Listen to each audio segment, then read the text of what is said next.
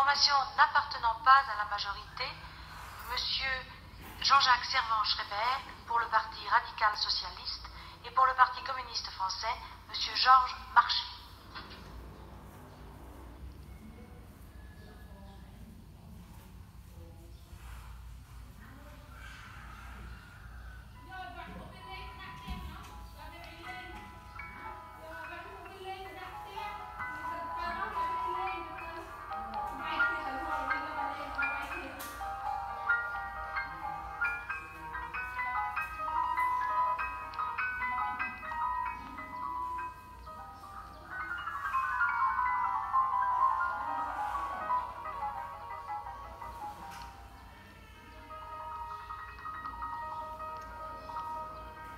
Glas.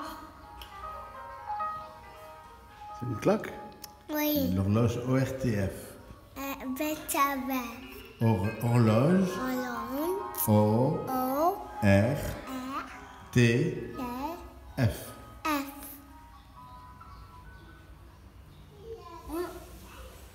Campagne pour le référendum du 28 avril 1972.